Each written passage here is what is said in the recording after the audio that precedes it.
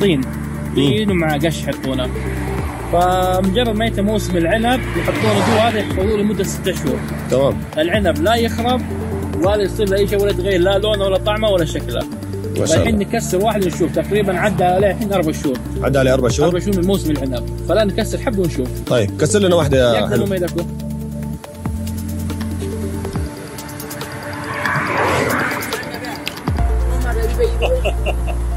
ويجيب حجر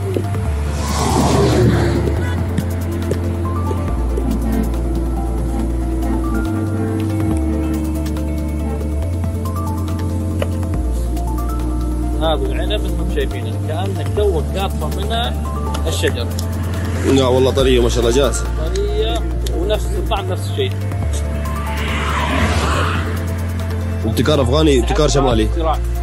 إي والله. شفتوا يا جماعة الخير؟ الولد يبغى له براءة اختراع على قولة أبو عبد اللطيف. شفتوا كيف يحتفظون بالعنب خمس شهور ست شهور سبع شهور. ما تخرب. نجرب واحد نشوف.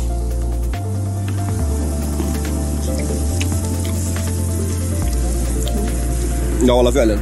زي تمام. هات الكيس يا ولد.